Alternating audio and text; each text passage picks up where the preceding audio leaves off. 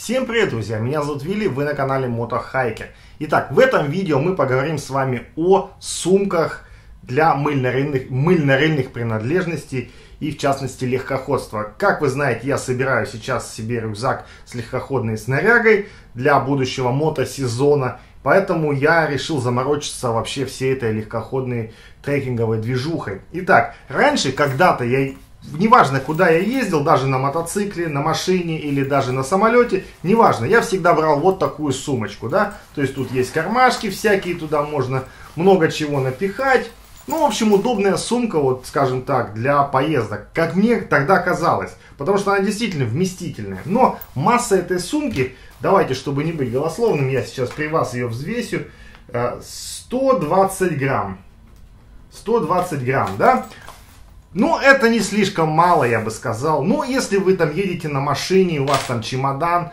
то, в принципе, это не принципиально, можно. Потом я стал использовать вот такой вот пенал. То есть, это обыкновенный пенал для авторучек, карандашей, фломастером, ну, каким пользуется большинство школьников, скажем так. Его масса составляет 50 грамм, то есть чистого веса, пустой вес.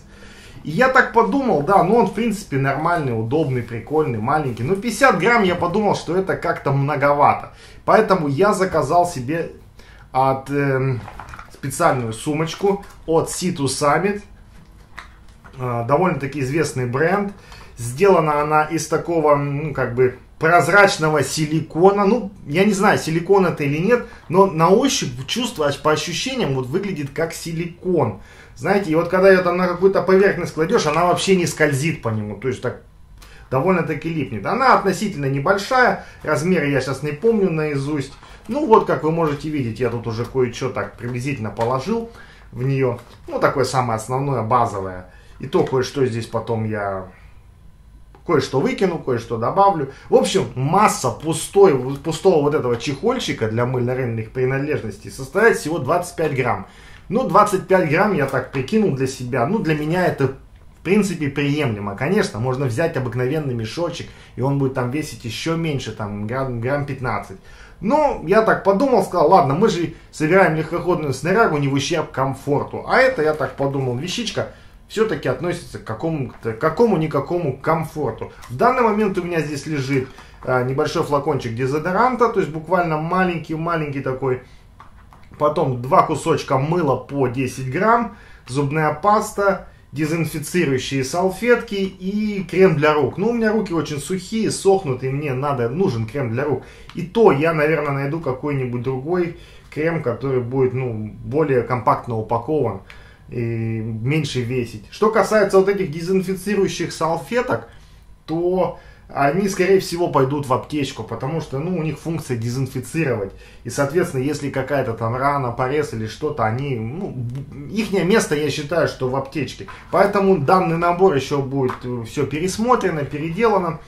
А, это сейчас не суть. Сейчас мы говорим именно о вот этих вот сумочках. Стоит ли такую сумочку брать или нет, решать, конечно, каждому. Я здесь никого ничего не рекламирую, но я просто считаю, что содержимое упаковки должно весить ну, намного меньше, чем сама упаковка. Бывает, что такие вещи упакованы в упаковку, и сама упаковка весит в 2-3 раза тяжелее, чем содержимое. То есть наверняка, допустим, вы встречали такие вещи, допустим, какие-нибудь там баночки стеклянные там, с приправой. То есть баночка весит, скажем, 100 грамм, а содержимое внутри 50 грамм. Поэтому таких упаковок просто-напросто надо избегать. Естественно, это еще вот это все не конечный вариант. Все еще будет взвешиваться, продумываться. Э, в общем, посмотрим, как оно, куда это все выведет. А, еще взял себе вот такое мыло, да, тут три куска мыла хозяйственного по 100 грамм каждый кусок. В принципе, его можно, допустим, поделить на 4 части, скажем так, вдоль и поперек, и потом еще вот так вдоль. Тут получается мы сделаем 8 кусков, 8 небольших кусков мыла. Если у вас есть какие-то предложения, как можно еще там что-то сэкономить в весе, в массе, в объеме, пожалуйста, я с удовольствием услышу ваше мнение в комментариях, поэтому не стесняйтесь, пишите свои комментарии, как вы обходитесь, скажем, в ситуациях, когда вы там куда-то едете. Если что-то полезное, я возьму с удовольствием на заметку и сделаю, возможно, так же. Э, ну, а собственно все, мне больше сказать на эту тему в данный момент нечего. Естественно, когда-нибудь там во время каких-то поездок, походов, путешествий я вас буду делать э, на всю свою снарягу, то, что я вот сейчас вам так, скажем так, диванно обозреваю, буду делать какие-то детальные обзоры, делиться с вами каким-то практическим опытом, использованием той или, той, той или иной вещью.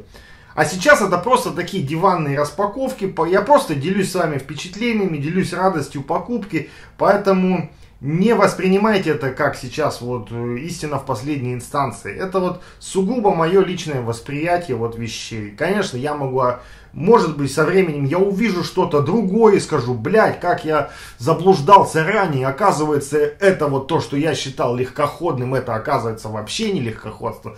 Так же, как, например, сейчас я отношусь ковриком, да, когда я знаю, что есть коврик массой в 250 грамм, при этом а, комфортабельный коврик, и когда я вижу ролики, где обозревают какие-нибудь коврики, там ультралайт, и у них масса 600 грамм, то думаю, бля, какое это нафиг легкоходство, ребята, вы что, ну погуглите, есть ультралайт, это уже не ультралайт. Да, технологии как бы идут э, развиваются, все изменяется. Может быть, там 5 лет назад это считалось ультралайт, но на сегодняшний день... Поэтому, ребята, все меняется. Ладно, ребят, все, не буду вас больше забалтывать. А, ставьте лайки, дизлайки, оставляйте свои комментарии. С вами был Вилли. Увидимся. До новых встреч.